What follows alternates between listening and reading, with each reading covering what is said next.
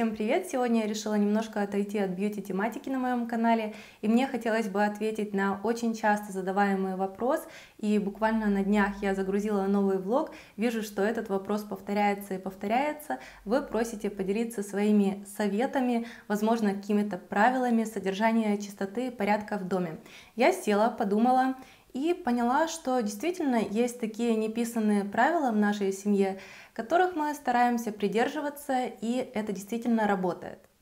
Первая, самая главная и полезная бытовая привычка, которую, кстати, привил мне мой муж, это ежедневная легкая уборка. То есть вечером мы стараемся сохранять такой же порядок, который был с самого утра. Поэтому утром, когда мы просыпаемся, все чисто, все лежит на своих местах. И мы, кстати, не пылесосим раз в неделю, раз в две недели, просто по мере загрязнения, скажем так.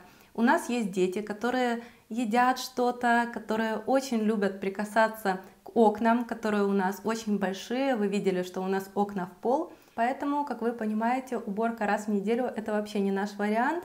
И второй момент – это то, что мы стараемся приобщать детей к этому процессу у них есть свои небольшие детские обязанности, и вообще детки настолько быстро привыкают к какой-либо рутине. И, к примеру, мой младший сын, которому скоро исполнится три года, он настолько привык к тому, что вечером он должен расставить все свои игрушки по местам, и сейчас это не составляет какого-то труда. Я просто его прошу об этом, никаких скандалов, истерик, он делает это и ложится спать. Следующий момент с детьми. Мне кажется, что меня смотрит столько много мамочек, и, возможно, вы также раньше совершали такую же ошибку, когда мы жили в квартире. Я разрешала есть детям не только у стола, они без проблем могли бегать с печеньем, с шоколадом, с чем угодно по всей квартире, и потом моя легкая вечерняя ежедневная уборка превращалась во что-то грандиозное. И сейчас, когда мы переехали в частный дом, решением проблемы было такое правило, что можно есть только у стола. И это тоже работает. Спустя несколько месяцев они сами об этом знают, берут поднос, на котором они едят, или тарелку, садятся. И даже когда я говорю «возьми яблочко», они «нет, нет, мама, мы должны есть здесь».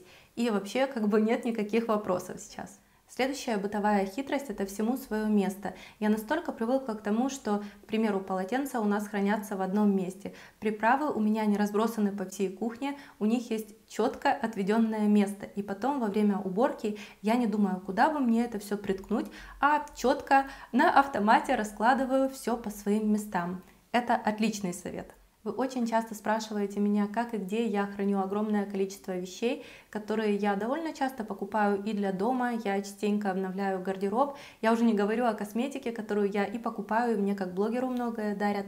Если я вижу, что хоть что-нибудь не помещается в отведенном для этого месте, это значит только одно. Пора делать разбор гардероба, косметики, приправ, чего угодно – и таким образом я всегда освобождаю место для чего-то нового, смотрю, чем я не пользуюсь и так далее. И это работает.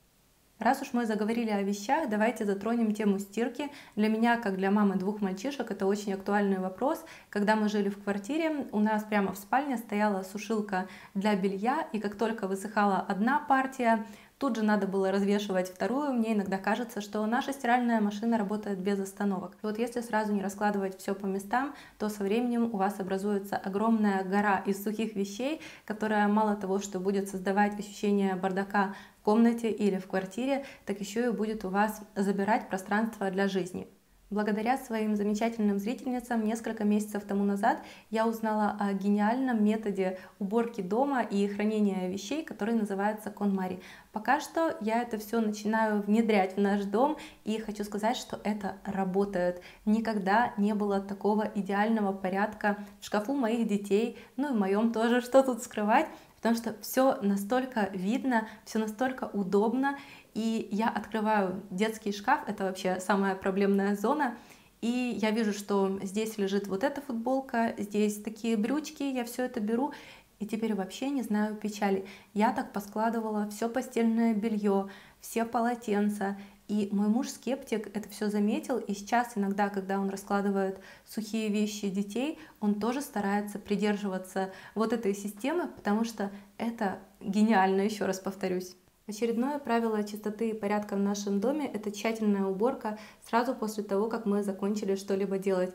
То есть, к примеру, я что-то готовила, потом мы это все съели, мы не ждем волшебного часа, мы сразу же складываем всю грязную посуду в посудомойку или моем это все руками, если это небольшое количество, и также протираем плиту. Это все занимает буквально несколько минут, но потом мы не обрастаем грязью, и вот это еженедельная уборка потом не занимает так много времени. И еще один совет, который нам помогает, мы всегда стараемся держать под рукой бумажные полотенца и также какой-нибудь препарат для того, чтобы почистить плиту или окна. Не знаю, все ли это делают, но для меня с самого детства это святое. Каждое утро при любых обстоятельствах я застилаю кровать.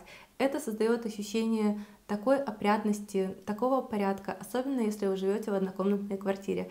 Помните об этом. И, наверное, последний момент — это договоренность с мужем.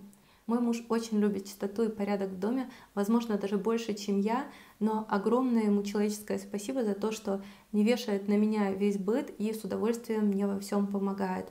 Возможно, многие меня не поймут, не поддержат, даже осудят за сказанное, но я считаю, что девушка, женщина, жена — это не домработница. Вы должны ценить, любить и уважать себя и мотивировать, стимулировать э, вашего мужчину разделять с вами ваш общий быт.